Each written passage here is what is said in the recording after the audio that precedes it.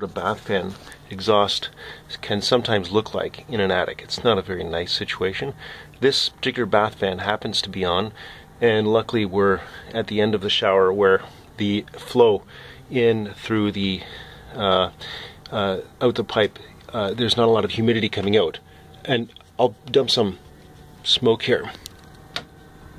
And you can see a lot of it is getting outside, but it's largely driven through stack effect.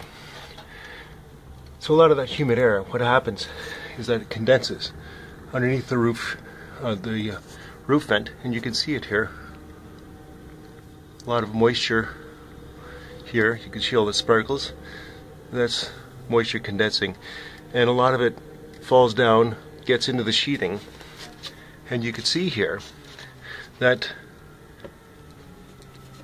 actually we'll do a little moisture content for the pearl purlin here and you can see I'm not getting a reading here.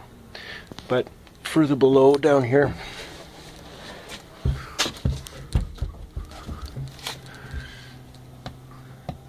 there's a wet spot here. And not sure if you can see that but that's reading a 19.5 that's not good again, this purlin here is pretty dry. But back here,